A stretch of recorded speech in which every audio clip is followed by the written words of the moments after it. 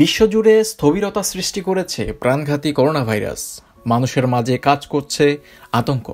এ পরিস্থিতিতে প্রবাসী বাংলাদেশিদের আতঙ্কটা যেন আরেকটু বেশি।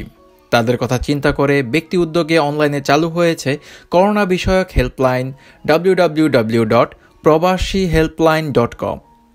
গত তিরিশে মার্চ তথ্য ও যোগাযোগ প্রযুক্তি প্রতিমন্ত্রী জুনায়েদ আহমেদ পলক এক অনলাইন সংবাদ সম্মেলনে ওয়েবসাইটটি উদ্বোধন করেন।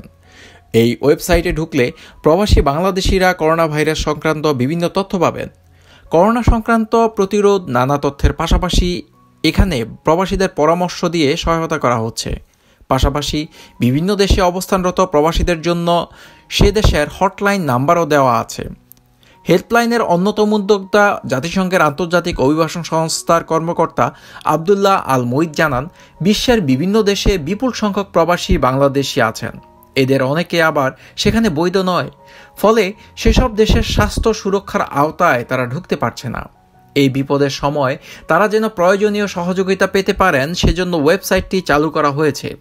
সবার সুবিধার জন্য এটিতে বাংলা ব্যবহার করা হয়েছে। একজন প্রবাসী যে দেশে বাস করেন, প্রয়োজনের সময় ওয়েবসাইটে গিয়ে তিনি সেই দেশের হটলাইনের সঙ্গে যুক্ত হতে পারবেন।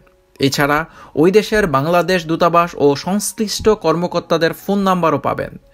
তিনি বলেন, সরকারের মাধ্যমে আমরা চেষ্টা করছি প্রবাসী ডাক্তারদের সাথে সেখানে বসবাসরত বাংলাদেশিদের যোগাযোগ স্থাপন করিয়ে দিতে, যেন তারা বিপদে পরামর্শ পেতে পারেন। প্রবাসী হেল্পলাইনের অন্যান্য উদ্যোক্তারা হলেন প্রযুক্তি ও যোগাযোগ বিশেষজ্ঞ রিদওয়ান হাফিজ, কাজল আবদুল্লাহ ও দিলশাদ হোসেন দুদল। এই হেল্পলাইনটিকে কারিগরি সহযোগিতা দিচ্ছেন online travel agency go Zayaan এবং অভ্যন্তরীণ রুটে পণ্যবাহী নৌযান ভাড়ার প্রতিষ্ঠান জাহাজি। সবার আগে সর্বশেষ সংবাদ পেতে নিউজ এ টোয়েন্টি ফোর চ্যানেলটি সাবস্ক্রাইব করে বেল আইকনে ক্লিক করে রাখুন। ধন্যবাদ।